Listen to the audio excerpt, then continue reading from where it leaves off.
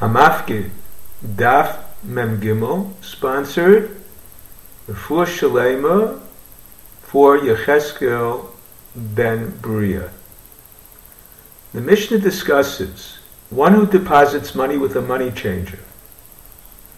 Number one, if the money is bound, he cannot use it, so if lost, he is not responsible.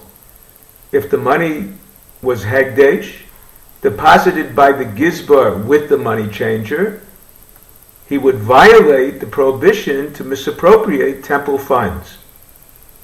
Two, if the money is loose, he can use it. He becomes either a shoel or shomer sachar and is responsible.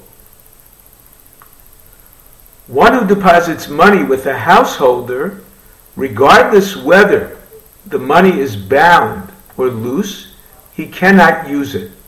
The money changer is always in need of money.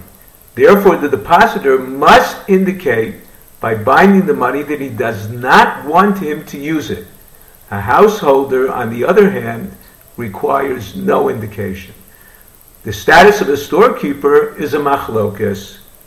Rabbi Meir holds he is like a householder. Rabbi Yehuda holds like a money changer.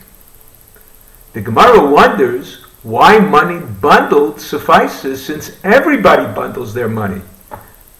Rav Asi answers, additionally, it had a seal. Rav Mari answers, it was tied with an unusual knot.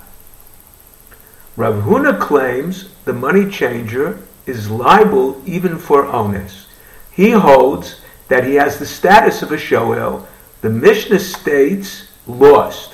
He interprets this to mean either stolen by armed robbers or the money was on a ship that capsized. Rav Nachman holds that the money changer is not liable for onus.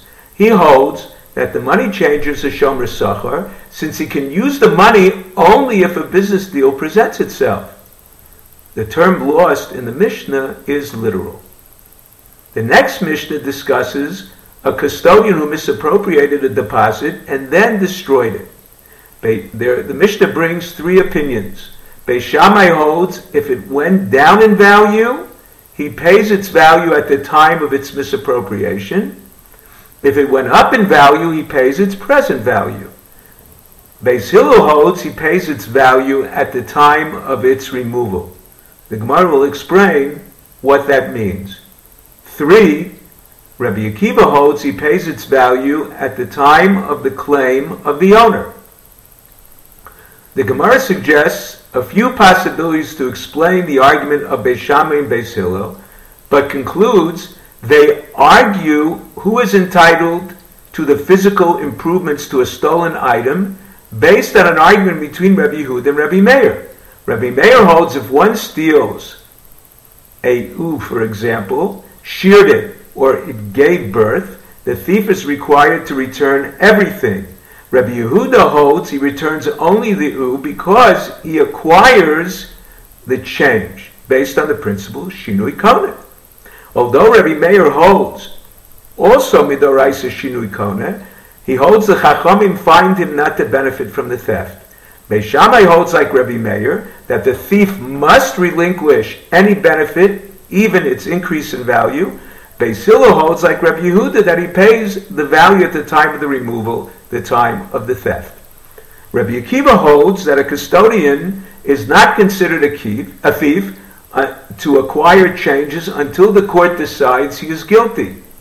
Based on the verse, Lasher hulo biyom ashmaso. Unless there are witnesses to the misappropriation, then he pays from the time of the misappropriation.